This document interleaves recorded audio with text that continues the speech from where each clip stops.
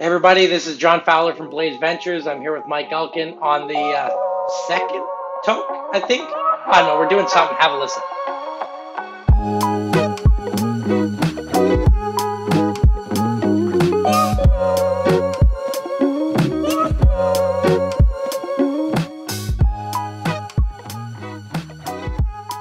Ladies and gentlemen, uh, welcome to the second episode of uh, The Joint, a podcast, a simulcast, a vlogcast, a show that is brought to you by myself, uh, Mike Elkin, also known as Canna Broker, and uh, Mateo Roksandic uh, up in the rafters, who is my collaborator. He is my co creator. He is on the ones and twos who's going to be helping me through the run of this show, uh, bringing you some amazing content, some amazing creative. Uh, and really, I wouldn't be anywhere without him. So I really want to extend a huge welcome to not only Mateo, but everybody who's watching, who's listening. Um, and I, I, think we're in for a big uh, for a big treat here. Hey, Mateo, how's it going? Good, good. How's it going, Mike? What an intro. Thank you. Yeah. Uh, I, I want to take a, a, couple of minutes um, and, and address the fact that we had um, we had put this podcast idea together uh, to be launched with one of my clients, who's a rather um, large Ontario retailer, um, and it, it, just wasn't meant to be. Uh, based off of some of the regulations that um, the, the, provincial government has put in place in the province of Ontario, uh, some of the regulations that Health Canada has put on a uh, on a federally regulated um, program. Uh, needless to say, um, uh, it was a valid attempt uh, to bring uncensored content um, with a with a major sponsor in, in, a space that really wouldn't allow it. Um, we're going to put all that aside, um, and we're going to press on because w- what what I want to do is to be able to give some people that are watching, some people that are listening, access to some of the amazing products that are being brought to you on a retail level, uh, on a medical level, um, and brought to you by the people that are, are putting those products in stores uh, and online for you, the consumer, to um, to purchase. So, with that being said, um, again, uh, a warm welcome to everybody to um, the show uh, that is called The Joint. Uh, I am Mike Elkin. He is Mateo uh, Roksandic. Um, and what we're going to try and do here is open up with a couple of different segments. Um, we're going to try and find some innovative ways to um, talk about current topics. We're going to talk about um, some trends that are coming up. And I think at the end of the day, we're going to talk about some of the things that I like, some of the things that Mateo likes, and some of the things that our, our guests um, like to talk about. Um, and first up tonight, uh, we're going to be bringing on um, a CEO, a trailblazer. But before that, I wanted to get into a, um, a segment that we're going to call uh, 710 Topics. Uh, we found a couple of sort of innovative, catchy titles uh, for some of our segments, and what we're going to do in the in the in the initial uh, offerings um, is this sort of seven to ten topics that I found interesting over the last couple of weeks, uh, and bring them to you. Um, so some of the stuff that we're talking about right now, one of them is um, the fact that a couple of weeks ago, the Ontario Cannabis uh, Store, the OCS, um, held a webinar where they were speaking directly to producers, to processors, to cultivators, to manufacturers. Um, you know, some of the over 500 LPs, uh, license holders that there are out there, and explaining to them that they they've run into a position where uh, there's a certain amount of SKUs, and it's upwards of 200 that are are are just not moving. Uh, and what does that mean for for not only those um, LPs that are producing those SKUs, but really what does it mean for for retailers and what does it mean for um, um, consumers? And, and really. Um, the move, as reported by David uh, George-Cosh uh, from uh, BNN Bloomberg, is that the move is likely to cause further write-downs for cannabis companies that can't meet sales targets, um, exasperating an extensive inventory problem. Uh, just today, it was released that there's 220,000 kilos of, of inventory. And again, I, I even tweeted that I'm not great at math, but could that be somewhere over 200 million grams? Um, needless to say, that's a, that's a lot of weed. Um, and really, uh, for Ontario, which has roughly I don't want to screw this number up, but three or four hundred stores with a, uh, over a thousand to come in the next year, um, they just can't hold that inventory. So uh, really, uh, you're going to see some some stuff pulled off the shelves and, and LPs that are going to suffer. Um, we are both Mateo and myself want to also um, talk about some of the lockdowns that are happening in the province of Ontario, some of the lockdown measures that are happening in uh, the province that I'm based in, which is Quebec. Um, so, really understand that if you're going to be picking up cannabis uh, in the province of Ontario, which is only uh, click and collect and curbside um, pickup along with delivery, it's important to visit your favorite um, Ontario dispensary store's uh, website, order online, click and collect at the curb, order delivery, but really make sure that uh, you tip uh, and be grateful for those people that are delivering the cannabis to you. Um, it's amazing that never before has it been more easy to get cannabis from from the store to your door, um, and, and that's a big testament to the people that are on the front lines. And I consider these people that are in the in the storefronts essential workers. So you know, big shout out to those people. Um, I want to make a mention to uh, Rubicon who is now available in the province of Quebec. It's a huge milestone for uh, the SQDC, which I believe only has 19 uh, LPs that currently stock those shelves. So uh, for something like the 20 to 25 stores, again, I, I got to check that number, but um, it's amazing to see some some top tier flower come into that space.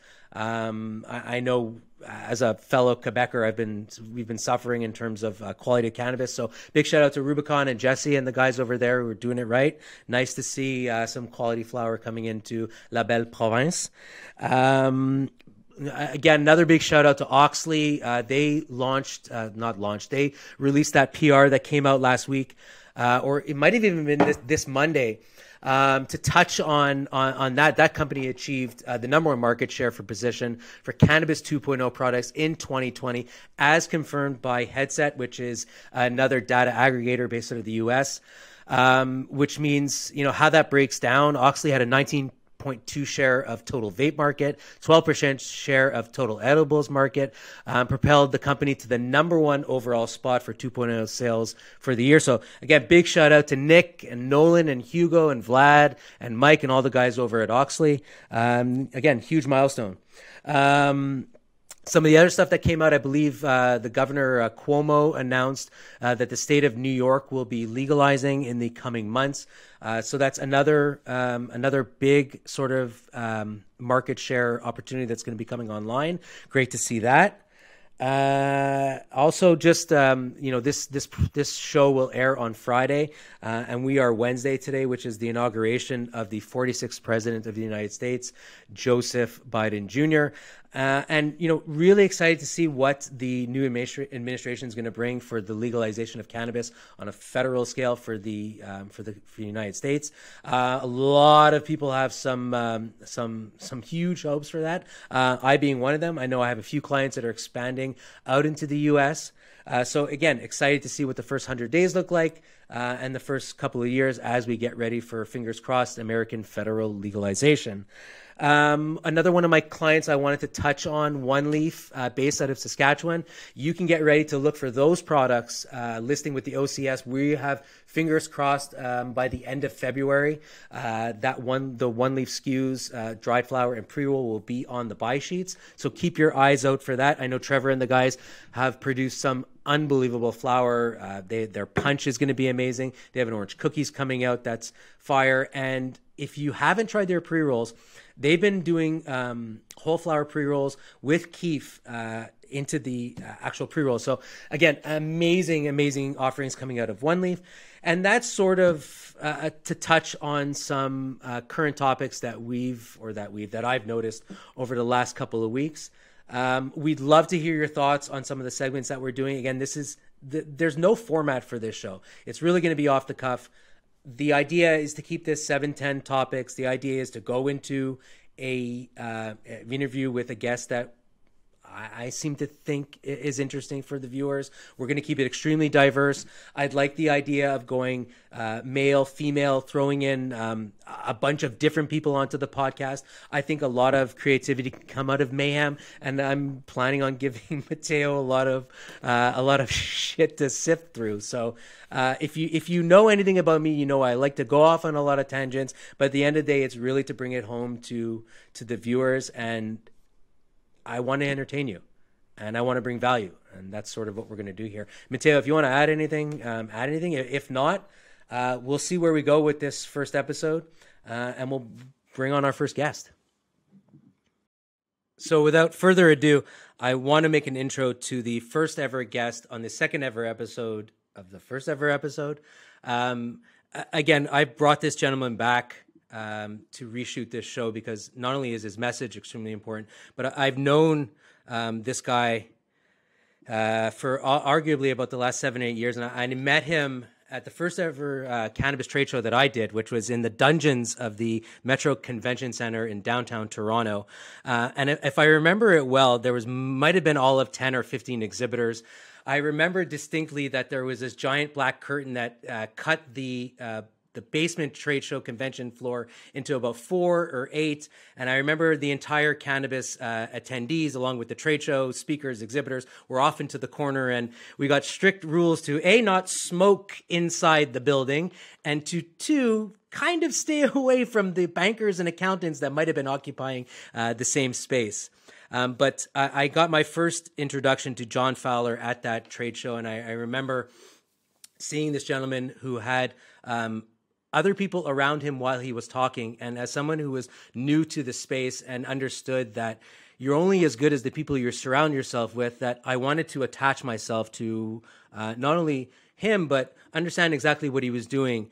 And I remember, um, I remember uh, meeting John Fowler, and I explained to him what I had done with a couple of other companies in the space, and explained to him that uh, not only would I would I die for his company, but um, I would be uh, relentless in the pursuit of adding value to what he was trying to do up in a seven acre greenhouse uh, in Kincardine.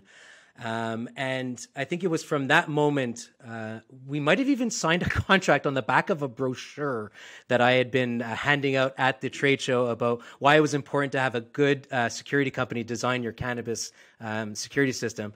So um, from from that inception, that meeting of John Fowler, watching him grow over the last uh, seven eight years in the space, uh, from CEO of uh, Supreme Pharmaceuticals and Seven Acres to to CEO of Blaise Ventures with arguably a launch of one of the more disruptive uh, SKUs in the space in Ontario over the last couple of weeks, which are the live rosin coins. Uh, Mr. Mario himself, the master of the coins, John Fowler, welcome to the joint. Thanks, Mike. Happy to, to be here again, again, I guess. Again, uh, but, again, uh, again. If we excited, don't excited, we got we got no rules, no holds barred, and uh, ready to have a good chat. We're gonna talk lots of weed. We're going to talk uh, maybe some interesting stories about some celebrities that you smoked with. Um, you know, what I'd love to do is um, maybe work our way back, uh, like we did in, in the first conversation, is kind of understand how do you end up launching a product like a live resin coin, which um, really doesn't exist uh, in the province of Ontario, arguably in, in, the country of Canada, understanding that you're going to have to educate uh, a new round of, of, of of clients, of consumers, of customers, um, and where does the where does the inspiration come to do something like that? Um, so there, there's a couple things there for me. Um, before we decided specifically to make those coins, what we wanted to do is, is two things. We wanted to make a product that we as a team wanted to consume that could be our daily driver. Um, and two, we wanted to see if you could still organically create buzz in the space, right? You know, we we were able to do that successfully at Seven Acres, but obviously had a much bigger engine behind us. Um, so we sat down. It was just three of us to start. We brought in some others, and really, what I started telling the team, it was only a six month project, and that's one of the things I'm most proud of. From first handshake with our partners at AgriFarm to SOPs, equipment, and basically a sellout at Christmas time was about six months. Uh, but I said two things. I said number one, uh, my fiance's name is Zoe. She is the most picky cannabis customer I've met in my entire life. I was like, she has to like it. And number two, I said this cannot be a New England Patriots Super Bowl. And what I mean is there cannot be an asterisk beside our win. And that was my problem in the cannabis space is there's a lot of wins, but there's a whole lot of asterisks, right? Too expensive, old genetics, this, that, and the other. So we sat down, we decided to make a, an outdoor-based live rosin uh, the coin tech is not new. Actually, Hasho, our, our artist, uh, he's been doing that for a while. Others in the US have done it. It gave us something unique and it allowed us to put together something that is cheaper than the live rosin I can buy uh, from the unlicensed market. And, and for me, that's the win win. And the coolest thing over the last 30 days since we launched, um, probably 70, 80% of my lung share has been retail purchase rosin, and that has not happened in this house uh, since the advent of legalization. So you alluded to um, and, glossed over it a little bit that uh, you are obviously recently engaged. So uh, a huge congratulations to to that. I know it was uh, last week that we had seen a bunch of stuff on social media. Um, so maybe talk about you know what does Zoe bring to the to the table? You know every every woman in, in my life, from my wife down to my two baby girls, um, are my CEO, my CFO. They are my uh, my conscience. So, you know, and I think you've been with her longer than a decade. So, what does that mean for you to have somebody that you can rely on? Not only, I mean, essentially, what you're saying is the ethos behind the coin and the launch of the coin was Zoe.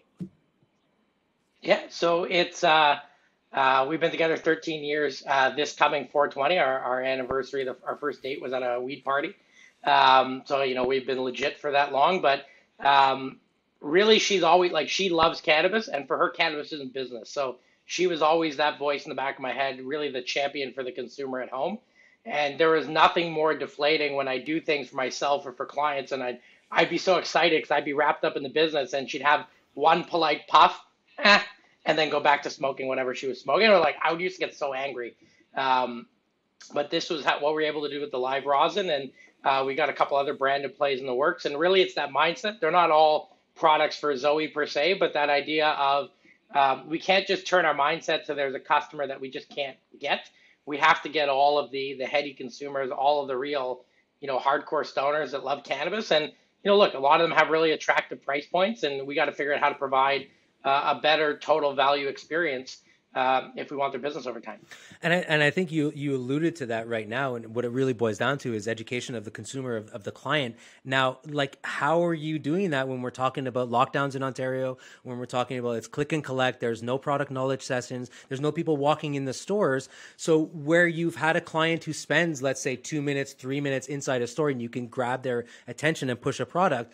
I've said this to numerous numerous retail clients that I have, you've gone from that attention span to something that's 11 to 17 seconds that someone's rolling up to a curb, running into a store. So what have you done? What has what has you know um, we are big done to sell out essentially over Christmas time? Uh, so for us, it's all about you know I, I think there's a three-legged stool to make great products in cannabis. First of all, the product itself has to be great for whatever consumer you're going at. So for us, that's working with AgriFarm. They grew the flower. Uh, Hasho put the team together in the SOPs. Shout out to Peter Miller, correct? Yeah, yeah, yeah. big shout out to, to the whole team there. Yeah. Uh, you know, Miller, Miller gets to be the the pretty face behind it, but there's a team of hardworking. Uh, Tracy's the master grower there, and and a bunch of ladies and men that that I mean, working in a field is that's real farming, like legit black back breaking, you know, bending over farming kind of stuff, yeah. right? Um, but they they worked all year to grow the beautiful flower that went into our critical lemon, and then we took our time extracting it. We do it all by hand. We throw away some of the the lower quality product, which takes our yield down. Uh, we actually had about another 10% that just wasn't stored right. We decided not to sell that. So you start with a great product. The second piece is when through our commercial strategy, we're able to, to lever our relationships and work with the OCS and now with some other provinces to get a fair price point uh, really pushing on the fact that we wanted to have an MSRP that was below, uh, pretty much below the wholesale price of of good rosin in, in the unlicensed market. Like we didn't just want to meet retail, we wanted to come way way under. And then the third piece is uh, have an organic marketing. So if you saw, you know, Scott Walters, who was my partner, Agri Consult, he was just blogging his day, yeah. and and the guy's excited and he's got his own selfie stick. He's got like the longest arms you've ever seen, yeah. so he gets great angles. Uh, best and, selfie, and we just did it organically, right? Oh, so good. That man shoots a uh, selfie. But you know, we just did seconds. it organically, right? right? And and that's what I love. The entire budget on the marketing side was like under two grand.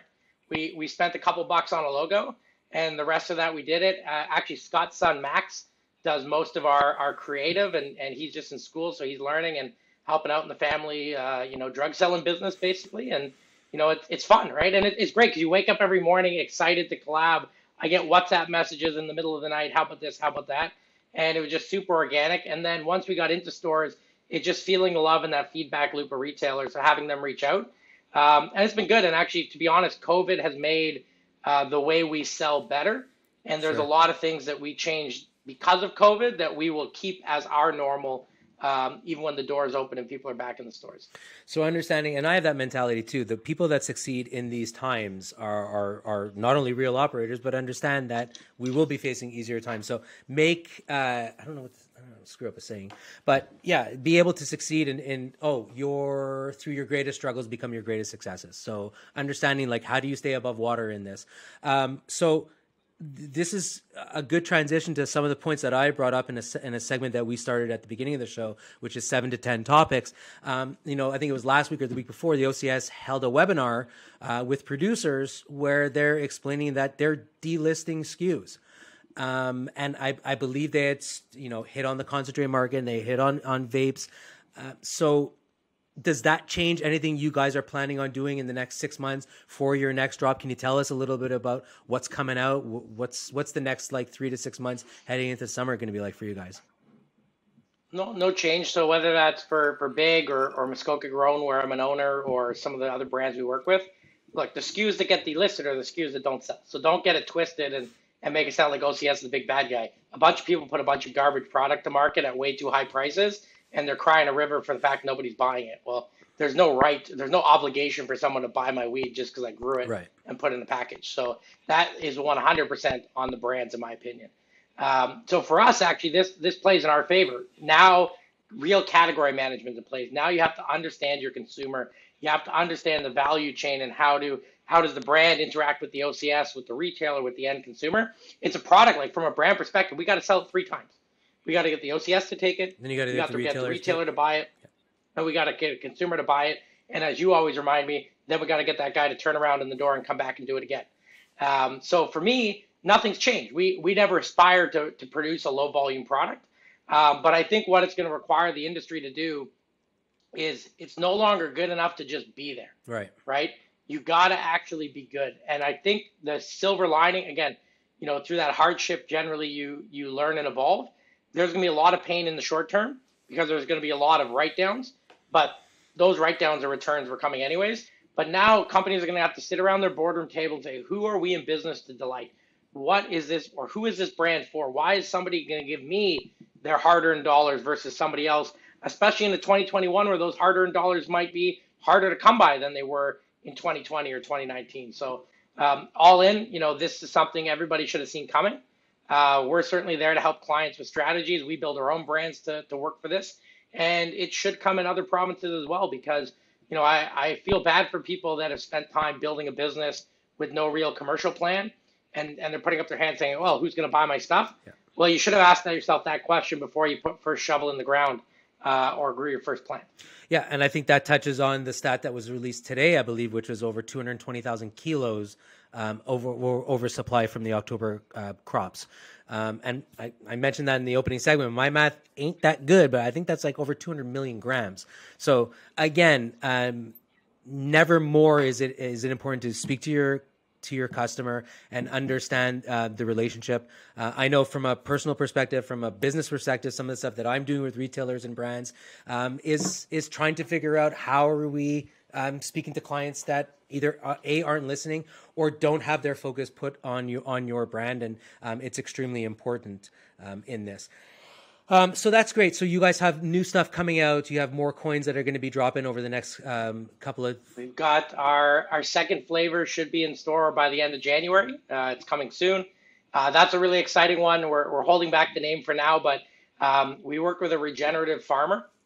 So this is like uh, uh basically all the animals worked together to grow beautiful soil and, and just made some beautiful cannabis um, uh, through a micro license. So it's super craft. Mm. Uh, it was a custom blend. So if you think of like a Krug champagne or something where where the blend master puts it together to get the flavor bang on, that was Hasho in the lab trying different bubbles to, to get it together. We're super proud of it. Uh, a lot of our Instagram, the super yellow, really light looking rosin, uh, that was that one that'll be there. And then uh, following on, probably end of February, we've got one that I'm super impressed or super excited by.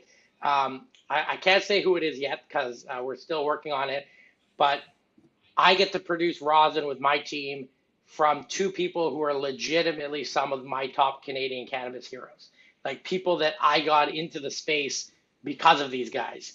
And just through a way a few things worked out, um, I was able to get myself a whole hell of a lot of fresh frozen and uh, we're going to put some really really exciting coins to market for the spring. Uh, I put two and two together. Maybe I did. Maybe I did. Um, okay, so that's great. Listen, we're everybody's and obviously uh, more uh, provincial rollouts. Alberta, Saskatchewan, BC coming or not in yep, the talks we'll right be, now? We'll be mostly coast to coast over the next few months. So uh, we're banging our heads a little bit in BC, and for like this is category management, right? Mm-hmm. So uh, BC has a lot of concentrates. Unfortunately, I think a lot of mismatched value price concentrates. Uh, so we're not out there this just yet, but I've been super thankful for a wave of retailers that have reached out on our behalf saying they want our product. So I think we'll get it there soon, and uh, we should be in the other provinces shortly. But you know, look, this is this is the future, right? This is cannabis is a margin business. You got to really delight people. I think if we do a great job at our price point, we'll have the we'll have the uh, luxury afforded to us or the privilege of playing around with some higher end product mm-hmm. and, and some more expensive input flower. Uh, and I think that's the right way to look at it, whether you're in concentrates or whether you're in flower. Like just start with a baseline, do a great job, work fucking hard, and then um, you know if you do well, you'll have those opportunities to to, to bite up the food chain a bit. Hundred percent, and that's some of the most successful brands in California. That's what they've done. You know, there's tons of um, comparisons when you talk about Canada, when you talk about California, and what I like to remind people um, is that California had a little bit more of a hybrid medical program that was set up for the last 20 years. So transitioning into their retail was was a lot easier, um, and I think even that's a, a, good transition to some to uh, a, a ne- another topic that I'd like to bring up. Um, I think it was like a month or two months ago, you had been doing a guest uh, bud tender um, spot at the neighborhood joint. Andrew, really another shout out um, to a great guy in the space. Uh, and you had spent uh, a great deal of money on a number of different products. I think I forget what the total was, but at the end of the day, I think you had bought ten or twelve SKUs, and you had found two out of the 12 that you know you had really found a liking to and coming from someone that's putting stuff onto shelves not only how is that a big problem in your eyes, but how can you relate to someone that does with their hard-earned money go in and spend five or six hundred bucks, and at the end of the day, essentially they're getting a hundred bucks of stuff that's actually worth the money? Yeah, so it's tough, right? And I, I think, you know, I'm not the normal consumer, and I get that. But you know, I also walk into the store with an abnormal amount of knowledge. Like I, I love standing behind the desk and talking to people because I, I mean, I people had to put up with me I would be like, oh, that's so and so's brand, and I would tell them stories sure. about whoever it was. But you know, my my challenge is first and foremost, um, as it stands today, the label and the brand don't tell me enough about what to expect in the product. And and I want to be clear, that is not a Health Canada problem. That's a company problem. So uh, I'll give you an example. Um, you know, Hugo, uh, who actually I met for the first time at that conference you mentioned, uh, who was my lawyer for a long time, went on to run Auxly. They're crushing it in the 2.0 space I just saw. Uh, they have Robinson's cannabis, right? So we talked about it last time. First of all, I have the greatest amount of respect for those guys because they have this weird overdrive, super tight joint concept. Not my thing, but the first cannabis company I've seen willing to die on a hill for something they believe in. And I love that brand for that. I tried their Purple Kush. Beautiful. Old school. It was like smoking in a time machine. It took me back to like younger days when my hair was longer. And then I wanted to come home. So Zoe and I don't really drink, and uh, I wanted to get um, I wanted to get her uh, you know something nice on a Friday. And I went in to a Tokyo Smoke store, and I was gonna get the PK, and they said, hey, why don't you try the lemon mm-hmm. garlic OG? So that's you know to me, I've had that strain a number of times. I know what to get. I take it home. Beautiful jar, gorgeous buds, well well you know well grown. Nothing wrong with them but did not have that gassy flavor profile I would expect from that lemon garlic. So I'm sure it probably is a lemon garlic OG, but it was selected in a way that I don't have a way of knowing. That's not the gassy profile I like. Zoe sniffed it, put the lid on, and and it's been in our drawer pretty much ever since. And you know that's a 50 60 dollar eighth. Yeah. I can't remember exactly. So again, it, it's it's understanding that it's not just about good wheat, right? It's about getting the flavor profile that people are expecting. So I think that's number one.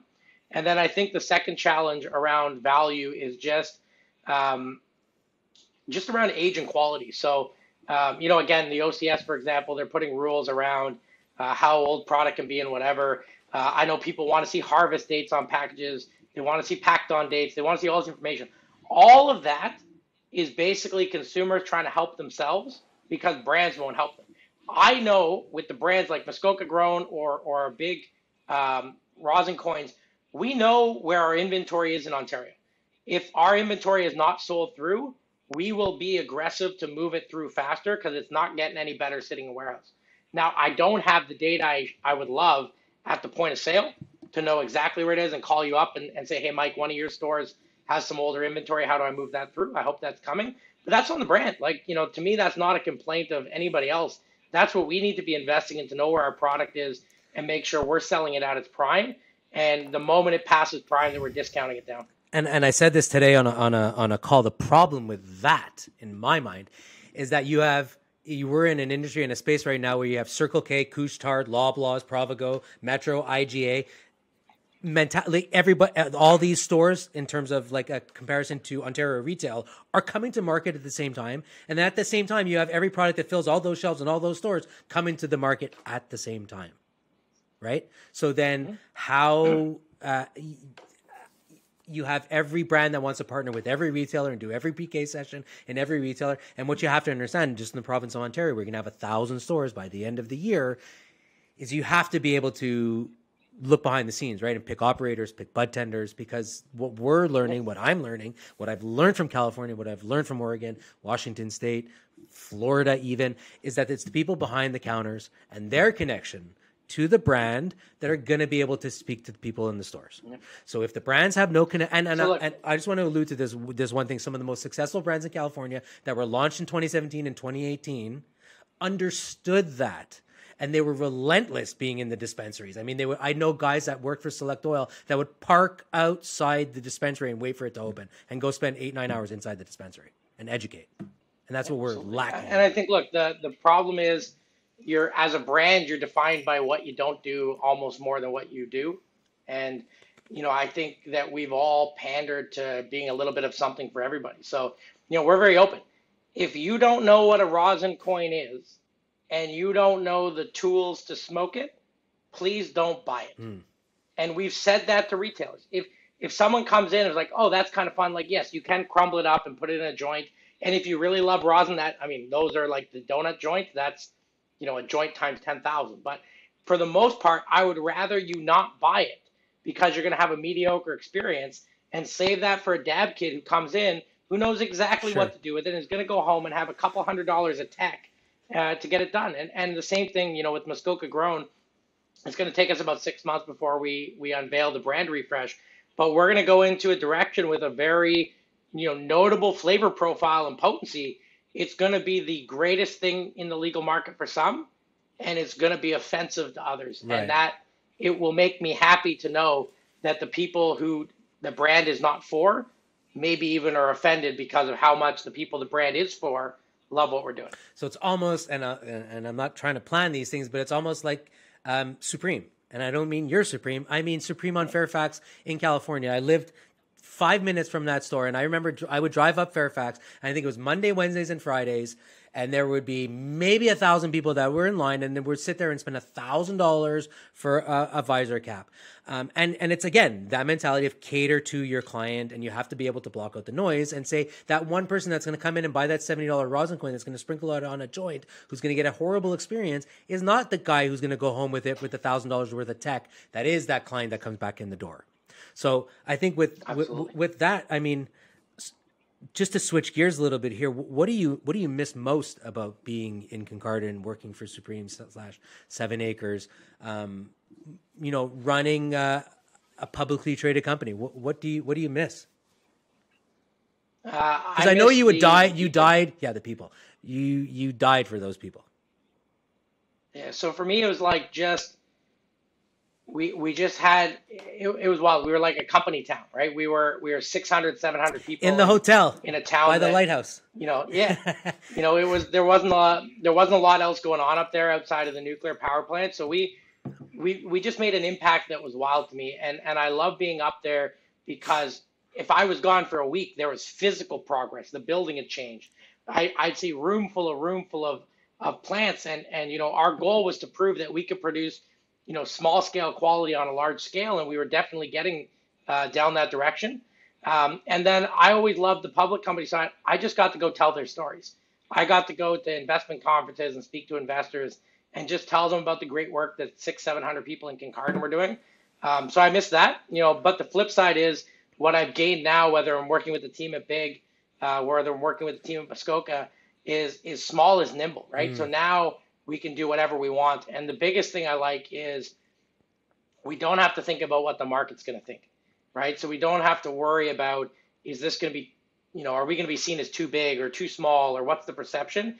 If the product is good and there there's a dollar to be made, we hustle and we go out and get it and and we get to do that. And then the last thing, and this is the biggest benefit, with a public company, you've got to tell everybody what you're doing, either exactly when you do it or worse before you're doing right. it. So here the beauty is we we launched our rosin coins and actually we had tons of buzz going. We didn't even tell anybody the brand name until after we shipped them to the OCS. Right. And it just we just proved that it didn't matter, right? Um, you know, our next drop, we're gonna launch it when it launches with Muskoka Grown. We had a record quarter. We had the best quarter that that company's ever had in December, and I didn't have to put a news release, you know, patting myself on the back about it. I got to say, good work, team. Um, you know, got some Christmas gifts, and then said, okay, it's January 1st. What are we doing in the next 90 days? Right. So execution, you know, and again, some of the some of the amazing stuff that you did um, while at Seven Acres. I mean, um, arguably the largest, one of the largest stars, hip hop stars, uh, culture stars uh, in Wiz Khalifa, and I think that was one of the one of the biggest, if not um, one of the more forward thinking licensing deals with KK um, and Khalifa Kush. I mean, like how how how did you put yourself into that sort of um, scenario, and how do you go um, from somebody that's such an icon in hip hop in, in California cannabis and get him up to Amish country where taxis are horse and buggies, right? I mean, uh, so so what's interesting about that is actually we we tried for a while not to do uh, the Wiz deal. So we knew some people, we had some connections, um, and then basically, um, I was down in LA for some other meetings uh, back when we were trying to see if we could possibly invest directly in California. And actually, I met with in a parking lot. It's actually the photo that's kind of behind me above my head. And he was working out. He, I mean, you, you've seen him. He's a freaking GI Joe. Um, but what was amazing is we wanted to meet him, and we had to meet him at the kickboxing gym. And I, I didn't go in. I heard the sound of them kicking bags from outside, and I was like, "Holy crap!"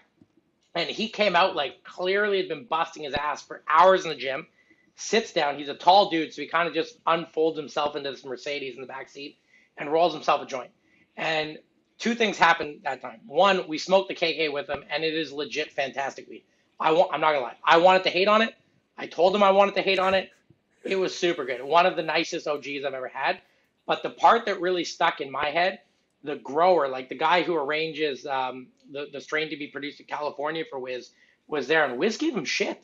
Wiz was upset that this batch that I thought was fantastic didn't have exactly what he wanted in the last batch, and I realized in that moment this was not a guy trying to put his brand on some weed to make a little money.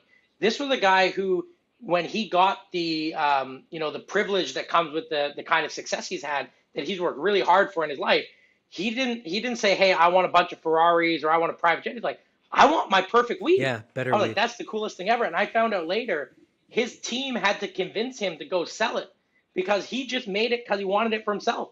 He he worked to find the perfect OG, and that's what he loves. And I think, look, anyone that loves weed, there is nothing better than a great OG. That is sure. the pinnacle of the best of the best. And so that picture is actually uh, um, the first time he gave us KK, and it was the funniest thing. We were flying out the next day, uh, so obviously we can't bring anything back with us and he's got this huge mason jar, and he's like, "Here, take some." I'm like, oh, "That's like, I can't just take some. What if I take too much? What if I take too little?" So I just put my hand out, like, you know, like Oliver Twist, like, "Please, sir, can I have some more?"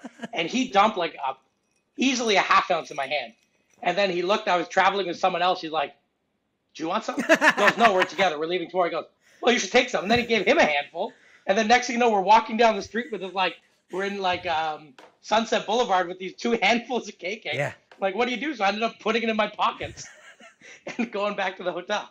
nice. Again, um, testament to uh, relentless passion, not only from your side but from from Wiz Khalifa. Surround yourself with people that are other executors and hold the same passion that you do. Um, and for you know what I've found in this space is it's a lot of it is dictated by law of attraction. Um, and some of the stuff that I believe in that I've learned from being around guys like you, guys like Chuck, early uh, settlers in this space is try and be the dumbest guy in the room. Um, and you know, when I first started this uh, in this eight years ago, I only knew about security. I didn't really know about um, cannabis at all. And I and I'll allude to, to one story. The first person that ever show, showed me about hash oil was you. Uh, I remember we had dinner in some random Chinese restaurant or sushi restaurant in um, in Toronto by the airport, and you had whipped out this pen, and that was my first in, sort of understanding what concentrates were. Because um, again, I I'm 43 years old, and I was. Uh, a 70s baby and grew up with shitty weed with seeds uh, that I would steal from my dad's uh, underwear drawer. Um, so yeah, you you learn, you educate yourself.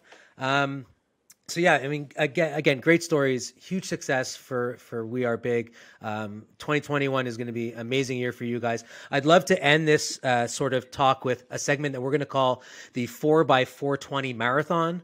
Um, it's four questions that I'm going to ask you. You'll have 20 seconds to answer. You give four answers per question. Uh, and if you get it wrong, you have to send me some swaggin product uh, in the mail.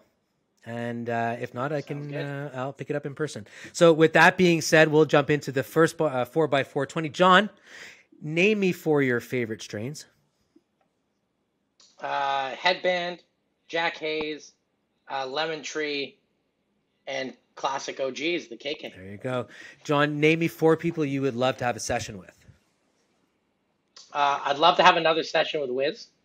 Uh, now that he's pardoned, I've always wanted to smoke with Lil Wayne and know if he sounds like that in person. um, I'd love to smoke with Obama because you know he gets down, and I'd like to smoke with Ellen DeGeneres.